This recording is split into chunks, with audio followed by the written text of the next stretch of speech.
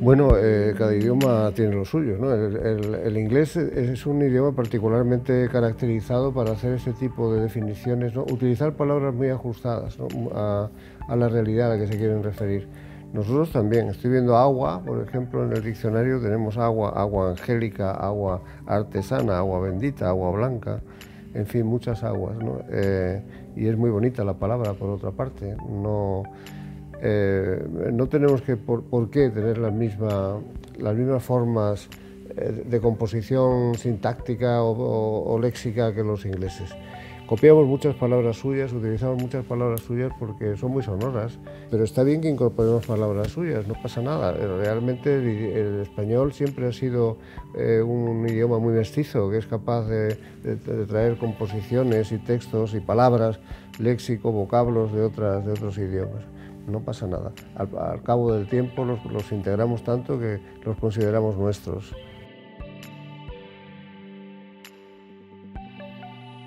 Pues la, academia tiene poco que decir respecto de los términos que se inventan los ciudadanos que hablan español. De todo es lícito. Eh, advierte que no está en el diccionario o advierte que es contrario a las reglas de formación gramatical de un vocablo eh, o de un término complejo pero no pasa nada, todo el mundo puede inventar idiomas si quiere. Otra cosa es que la academia lo recoja.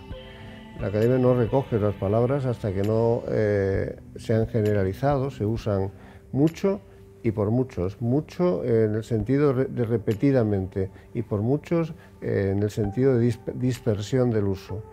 Pues cuando eso ocurre acaban en el diccionario. Cuando no, pues o cuando son palabras de estructura obvia como microplástico, que se compone de otros, dos vocablos que unidos ya se sabe qué pueden significar, el diccionario, no las recoge porque, son, eh, digamos, rectas, natural el significado, no hace falta, no hace falta explicarlo.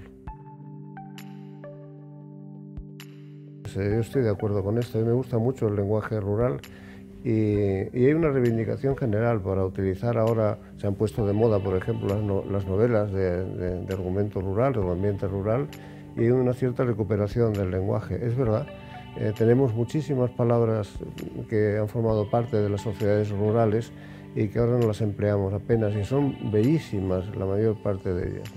Y, en fin, si hay un movimiento de recuperación, el director de la academia se pondrá a la cabeza.